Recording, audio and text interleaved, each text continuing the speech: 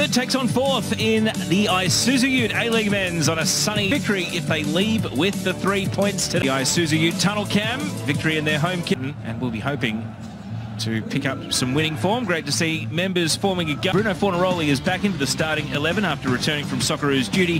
Ben Folami starting 11. Hollman, Bernardo Oliveira, Ollie Jones and also Lockie Ross. Statement third spot on the line for them if they win today. Melbourne victory.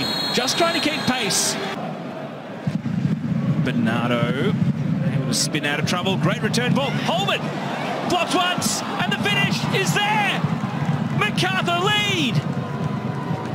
Jake Hollman against the run. Boos ring around AAMI Park. It's really more shock for the home side as Jake Hollman makes it MacArthur 1, victory nil. As you can see on the Harvey Norman replay, this beautiful passage here by Bernardo through questionable handball, but it doesn't really matter because we've got a goal for MacArthur. Bernardo using his strength here, a little slip ball, and just to finish that so calmly and so composed against the run of play, this is beautiful.